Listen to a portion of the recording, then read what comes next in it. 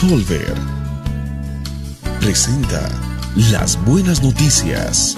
Colver dan gusto a la vida.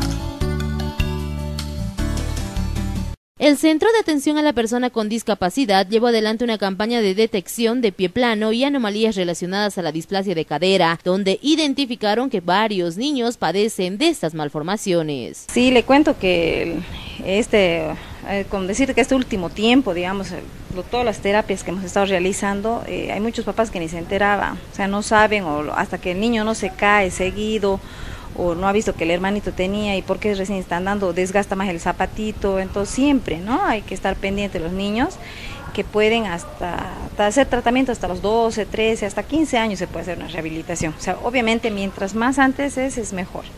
Asimismo, refirió que toda aquella madre o padre de familia que busque conocer si su hijo tiene algún problema, que pase por la institución donde se le realizará una evaluación. Sí, la atención es gratuita, puede venir todos los días, de lunes a viernes, en horario de oficina, puede entrar el certificado de nacimiento eh, del niño o carnet de identidad y asimismo de los papás para abrir la historia clínica.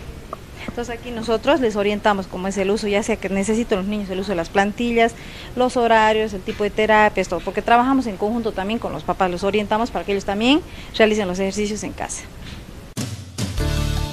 Colver presenta las buenas noticias. Colver dan gusto a la vida.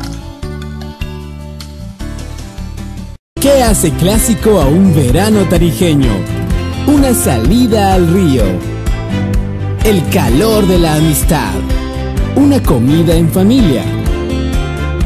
Y el aroma a carnaval. Pero lo que verdaderamente hace clásico al verano en Tarija es acompañar con un clásico Colver cada momento.